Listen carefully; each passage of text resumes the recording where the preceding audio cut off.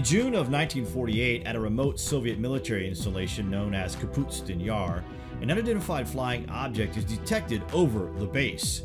Strange blips were seen on radar. Something was tracked performing extraordinary speeds and maneuvers, and a Russian fighter jet was scrambled to intercept it. The pilot saw a silver cigar shaped object and was told, Shoot this thing down, it's in restricted military airspace. The UFO fired some sort of direct energy weapon, a death ray, but before the Russian jet was downed, it managed to launch a missile and shot down the UFO. Some people have speculated this was the time that the Russians found out about extraterrestrials. According to the myths and legends, at Kapustin Yar, they actually recovered bodies.